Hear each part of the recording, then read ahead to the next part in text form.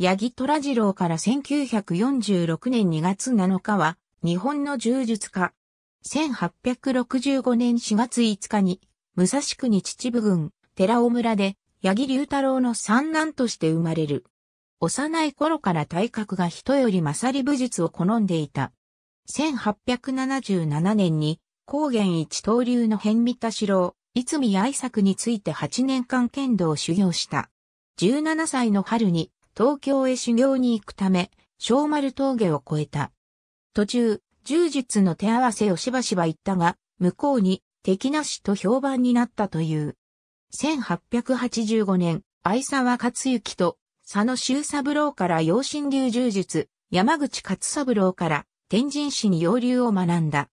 その後、天神市に養流の三代目、磯正友に弟子入りし、皇帝の地位に上がり流派の重鎮となった。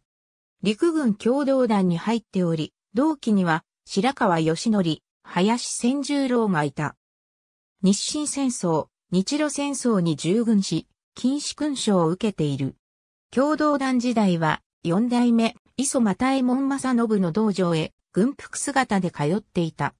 柔術の稽古は荒く同門の人たちは相手をすることを知り込んだという。稽古をしすぎて小便が真っ赤になったほどであった。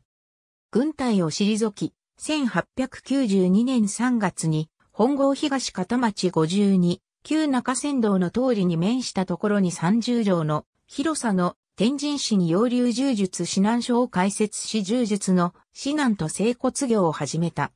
1894年7月4日に渡辺豊次郎の長女へと結婚した。日清戦争に砲兵として従軍、満州各地を転戦した。軍人直輸を基礎に門弟を教育した。また、柔道征服術の公認運動に参加した充実家の一人でもあり、任下後に日本柔道征服士会の三代目会長に就任した。行動官四天皇の横山作次郎と親交があり、よく横山作次郎が道場に来て、八木虎次郎と乱歩をしていたという。ありがとうございます。